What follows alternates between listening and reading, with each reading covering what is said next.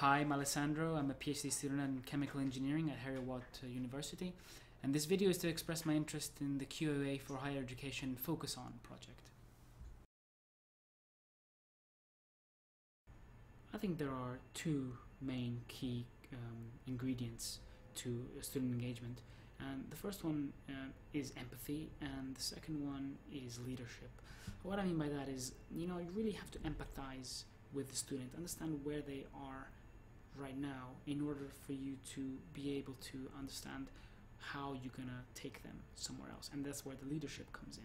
You need to really lead them towards the knowledge. You need to make them make the connections. They have to tell you what's going on in their head. It is not about you know telling them and then uh, you know assuming that they will understand it. Um, you know to make an analogy let's say that your house is the knowledge you're trying to get them towards and the student is in town and you're going to guide them using your, your phone. The first thing you're going to do is understand where you are and what method of transport you have.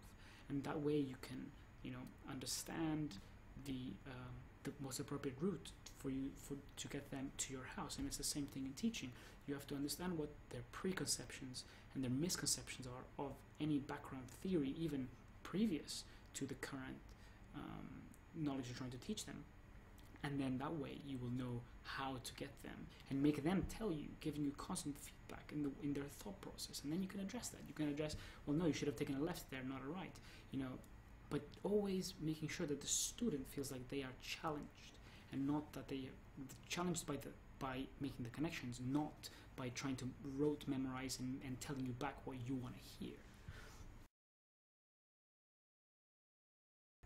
So there's there's a few things that I would go back and tell myself before I started um, student demonstrating, and the first one is really assume much less of what the student already knows. And that's not to say that they haven't learned the material or that they're not intelligent, but really that the knowledge might not be in the forefront of their mind as much as you might think. So really give them a little bit of a refresher, a little bit of context, how it all fits together, and then build on, on the concept. And um, I assure you that that will make, get, get them more engaged right off the get-go rather than getting lost halfway and that's much harder to uh, to recover. Um, the second one would be to to say that well being a demonstrator is easy uh, but being a good demonstrator is not as easy. And you will never be able to be 100% perfect and you will make mistakes and sometimes you might even say something that's wrong and repairing from that is just part of the game really. Uh, so not to worry. Um, so that's what I would say really